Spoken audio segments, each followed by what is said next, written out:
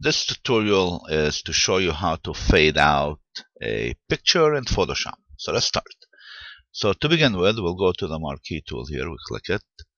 Uh, then want to make sure here I have feathering. So I'm have it set at 25px.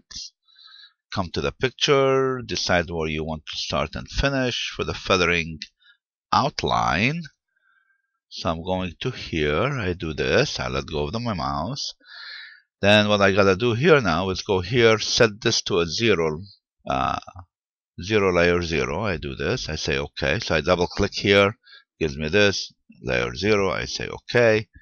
I come down here and it says here at this uh, circle here, add layer mask. So you double click that. I whoops, only click it once. I'm sorry, I double clicked it. So we don't need this other layer here. We just get rid of this one. So here we have a picture that is feathered out. And to show you what the effect would be like, let's change this to a black and go to new file, new.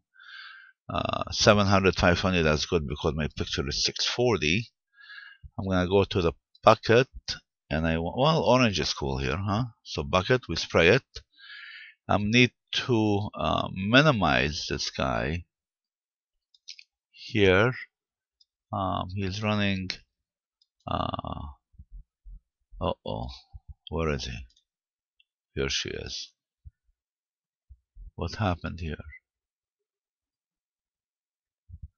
Okay let's minimize it. We're gonna go uh, file. New 70520 okay. So we do this uh, that's okay. We hit the bucket. We paint him. Now I'm gonna go to my move tool here. We're gonna bring this picture um, into here. So here you go folks. See this? How nice it looks on the background? So that's it. Enjoy. Very simple. Watch it twice. You'll get the hang of it. Thanks